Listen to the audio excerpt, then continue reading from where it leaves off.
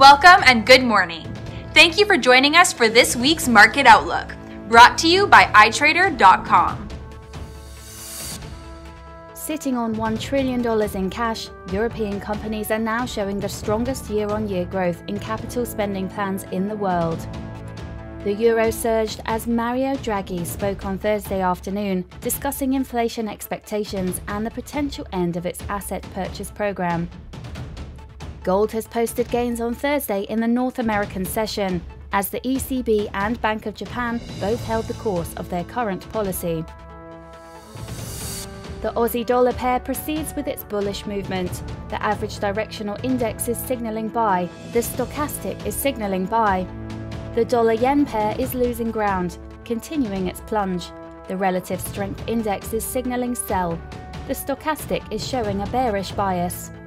The price of Bitcoin is showing a decisive bullish bias. According to the average true range, high volatility may be expected.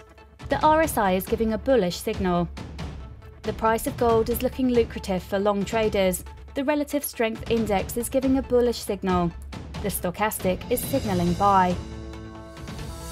The Eurozone's Markit manufacturing PMI will be released on Monday at 0800 GMT. The German IFO business climate Tuesday at 0800 GMT.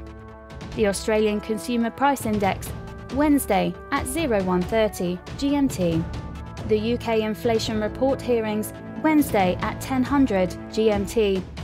The US Fed interest rate decision Wednesday at 1800 GMT. And the US gross domestic product analyzed Friday at 12:30 GMT. Thank you for joining us for Sunday's Market Outlook. On behalf of all of us here at iTrader, we wish you a productive trading day. Be sure to log into iTrader.com for all of your trading needs. Your personal account manager is ready to answer all of your questions.